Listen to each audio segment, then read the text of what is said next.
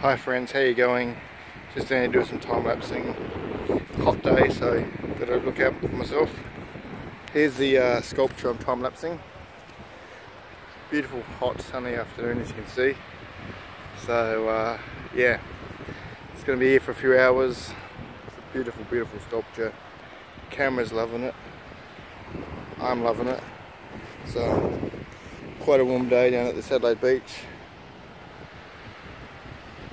So I'll do my best to make this a good one and hopefully get the night, the stars over top going in. So hope you enjoy it as always. Glad to have you with me.